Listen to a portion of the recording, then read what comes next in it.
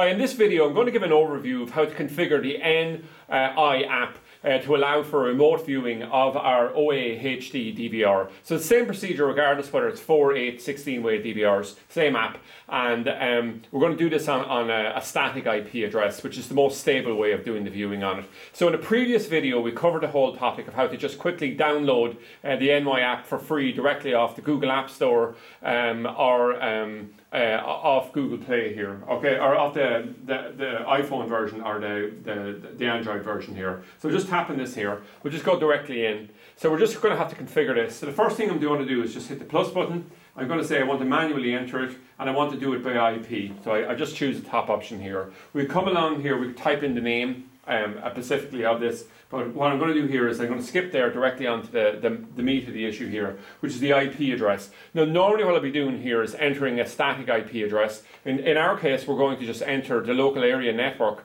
uh, uh, IP address for the router, simply because uh, we don't want to give away our static IP address because it's, you know, for security reasons, that would never be a good idea. But the procedure is exactly the same. So it's just 192 um, dot one um, six eight dot um, one, and then the final thing is the actual one that's on our local area has been allocated to it, which is 29. And we just come along, we just go to the port here, and the port we're going to go for is 5000.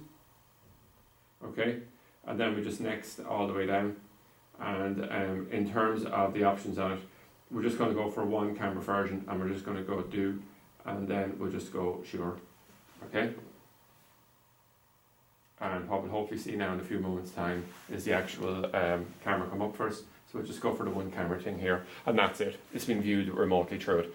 So it's really, really handy, uh, very straightforward to do it here. Now we have other ways of doing it. We're going to have more versions of it, but professionals generally prefer to go with static IP addresses. It's just the best and simplest way to do it. So that's it anyway, an overview of how to um, uh, configure your N_Eye app to be able to uh, view your uh, DVR remotely.